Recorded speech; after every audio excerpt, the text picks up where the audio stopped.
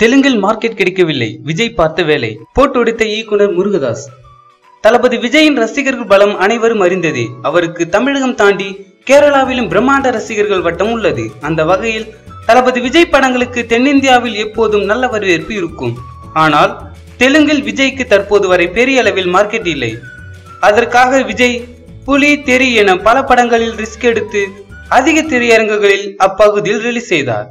அந்த படங்களும் அவருக்கு பெரிதும் கை கொடுக்கவில்லை. இந்நிலையில் இயக்குனர் முருகதாஸிடம் சமீபத்தில் ஒரு பேட்டியில் ஏன் துப்பாக்கி படத்தை மகேஷ் பாபுவை வைத்து எடுக்கவில்லை? என்று கேட்டனர். அதற்கு முருகதாஸ் நான் எடுக்க ரெடியாகத்தான் இருந்தேன். ஆனால் விஜய் சாருக்கு தெலுங்கில் பெரிய அளவில் மார்க்கெட் இல்லை.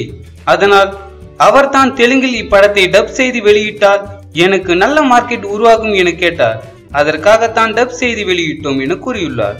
இந்த வீடியோ பிடித்திருந்தால் லைக் பண்ணுங்க. தளபதி விஜய் மற்றும் முருகதாஸை பற்றி உங்களின் கருத்துக்களை கமெண்ட் பண்ணுங்க. மேலும் இது போன்ற செய்தியை உடனுக்குடன் அறிந்து கொள்ள சினிமா நியூஸ் அப்டேட்டை சப்ஸ்கிரைப் பண்ணுங்க.